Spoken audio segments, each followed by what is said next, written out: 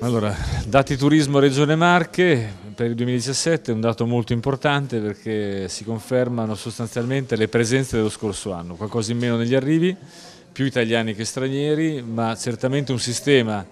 che è partito con un calo importante di prenotazioni nel periodo invernale è riuscito a recuperare i numeri, quindi garantire al settore occupazione, presenze, attività e tutto il resto. Noi crediamo molto nel valore del turismo, il secondo motore economico della regione,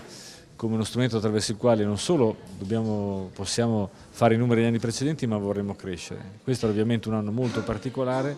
riuscire a dare questi risultati è un, un bel messaggio per la regione, per i cittadini, e per il sistema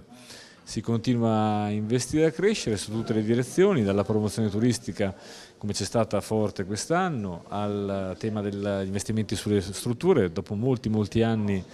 è in corso un bando che permetterà a tante strutture ricettive di riqualificarsi, di sposare le missioni che più interessano, quindi dare eh, potenzialità in più in termini non solo di ricettività ma anche di qualità dell'intervento nei confronti del turista, destagionalizzazione con una, simbolicamente la grande mostra dell'otto per il 2018, una delle più grandi che si terranno nel nostro paese e eh, nello stesso tempo sono un'attività soprattutto in chiave culturale in grado di portare fuori stagione tante persone nelle Marche. Diciamo, un messaggio positivo sul quale costruire le politiche del futuro.